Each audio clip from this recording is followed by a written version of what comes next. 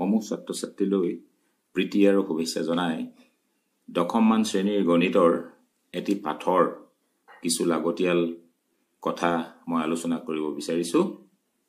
পাঠটি হৈছে ত্ৰিকোণমিতিৰ কিছুমান প্ৰয়োগ।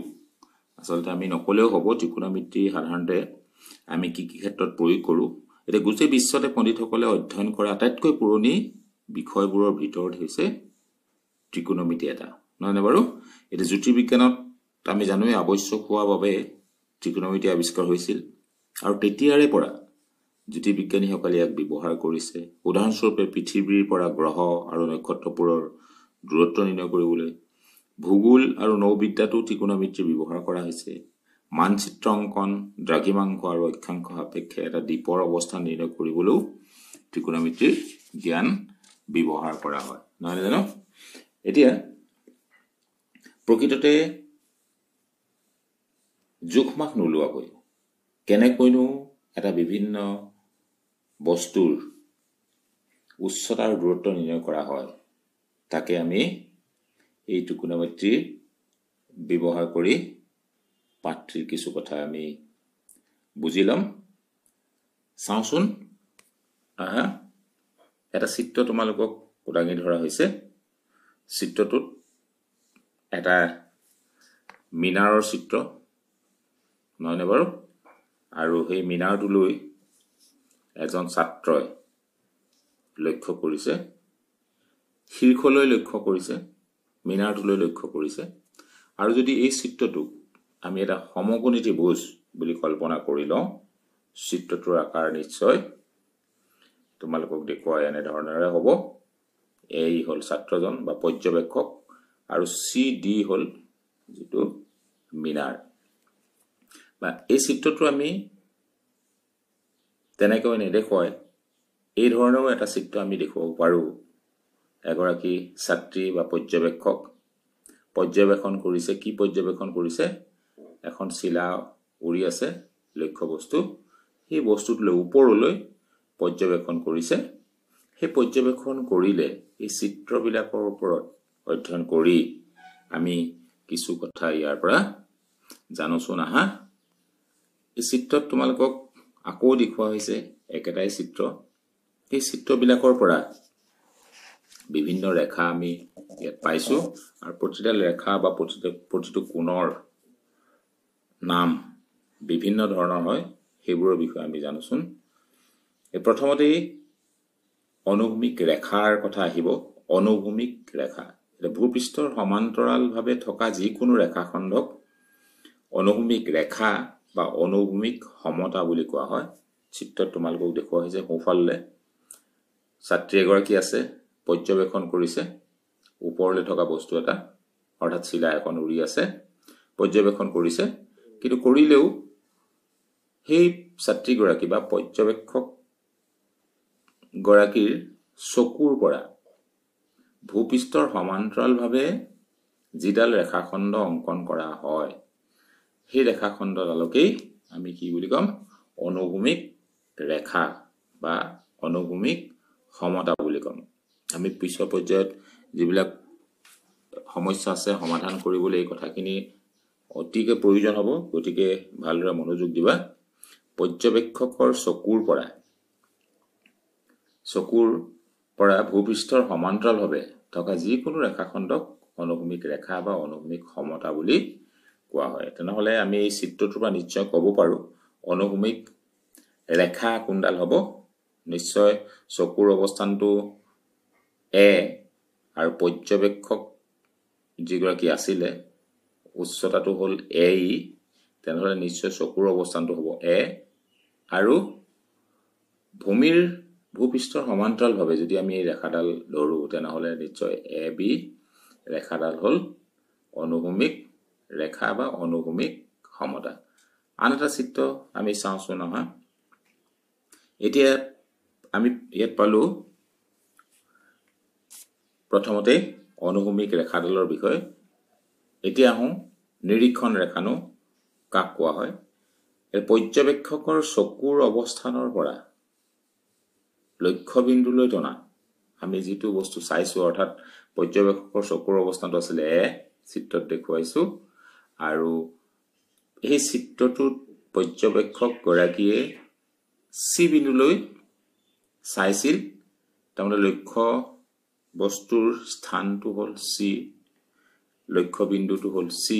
গতিকে পৰ্যবেক্ষকৰ এৰ পৰা চি লৈ আমি যিডাল ৰেখা আঁকিছোঁ অংকন কৰিছোঁ সেই ৰেখাডালক আমি কি বুলি ক'ম নিৰীক্ষণ ৰেখা।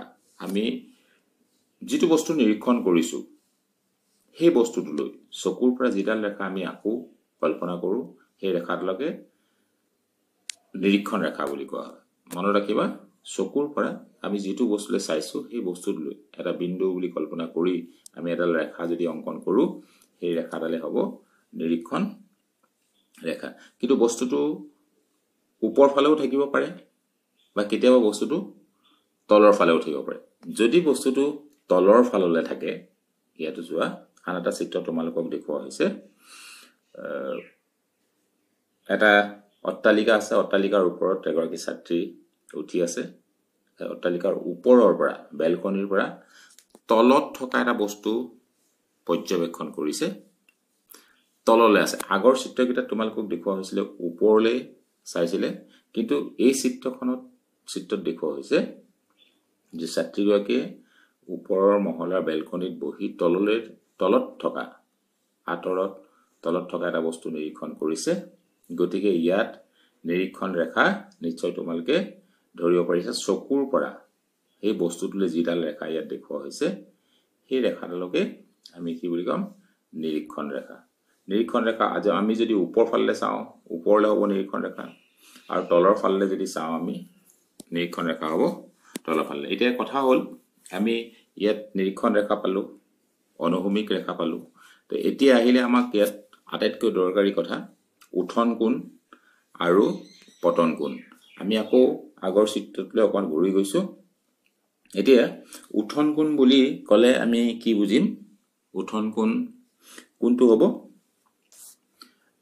ইয়াত চিত্ৰত চিত্ৰটোত বি এ চি কোণটোক আমি উঠন কোণ বুলি ক'ম।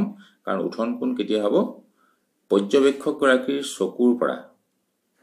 পৰ্যবেক্ষকগৰাকীৰ চকুৰ পৰা লক্ষ্য বস্তুটোলৈ। আমি যিডাল ৰেখা পালোঁ সেইডাল নিৰীক্ষণ ৰেখা। আৰু চকুৰ পৰা ভূপৃষ্ঠৰ সমান্তৰালকৈ যিডাল ৰেখা পালোঁ সেইডাল হ'ল অনুভূমিক ৰেখা। আৰু সেই অনুভূমিক ৰেখা আৰু নিৰীক্ষণ ৰেখাই যিটো কোণ কৰিব সেই কোণটোকে আমি কি বুলি ক'ম? উঠন কোণ। কিন্তু ইয়াত ওপৰ ফালে লক্ষ্য কৰিছিল বস্তুটো। গতিকে সেই কোণটো হ'ব উঠন কোণ বি এ চি কোণটো হ'ব উঠন কোণ। নিশ্চয় তোমালোকে ধৰিব পাৰিছা। এ বিন্দুটো হৈছে পৰ্যবেক্ষকগৰাকীৰ চকুৰ স্থানটোৰ আমি বিন্দু বুলি কল্পনা কৰিছোঁ। চি বিন্দুটো আছিলে শীৰ্ষ বিন্দু মিনাৰটোৰ ওপৰ ফালে চাইছে। আৰু এ বি হ'ল অনুভূমিক ৰেখা। গতিকে অনুভূমিক ৰেখাডালে নিৰীক্ষণ ৰেখাৰ লগত যিটো কোণ কৰিব সেই কোণটোক আমি উঠন কোণ বুলি ক'ম। এই চিত্ৰটো আকৌ মন কৰা তোমালোকে ইয়াতো বেলকনিৰ পৰা তললৈ চাই আছে। নহয়নে তললৈ যেতিয়া চাই আছে তেনেহ'লে ইয়াতো এডাল নিৰীক্ষণ ৰেখা আছে। আৰু সেই নিৰীক্ষণ ৰেখাৰডালৰ লগত।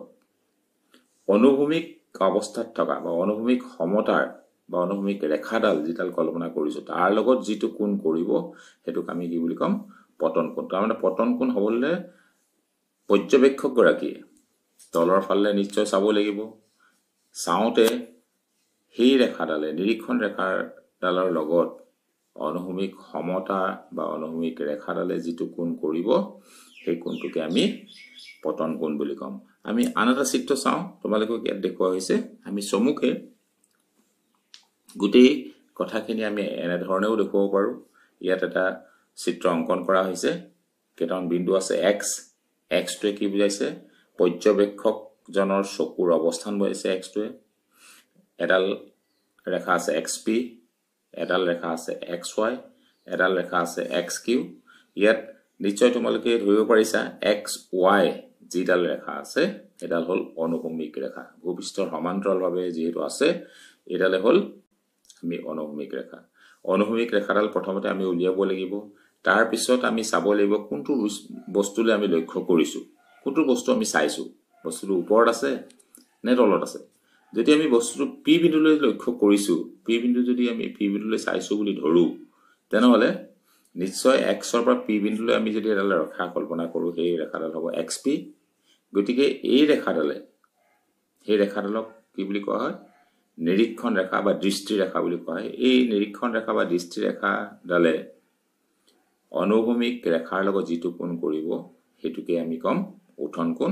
তাৰমানে পি এক্স ৱাই কোণটোৱে হ'ব উঠন কোণ।